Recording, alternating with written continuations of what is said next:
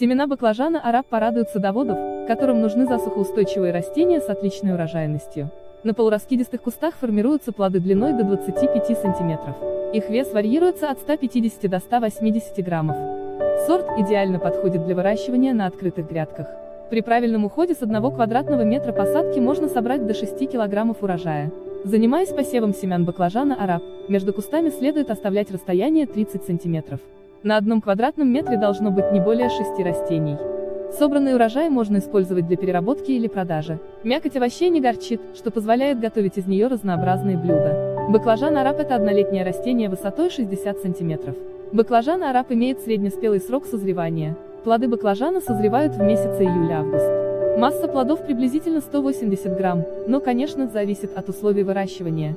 Форма у плода цилиндрическая. Цвет плода темно-фиолетовый. Вкус без горечи, мякоть плотная. Это растение и тысячи других саженцев, луковиц и семян вы можете купить на нашем сайте www.lofa.ru. Если вы просматриваете это видео на YouTube, то ссылку для покупки этого растения можно найти в описании под видеороликом. Ставьте лайки, подписывайтесь на наш канал, и вы первыми узнаете о новых растениях для вашей дачи.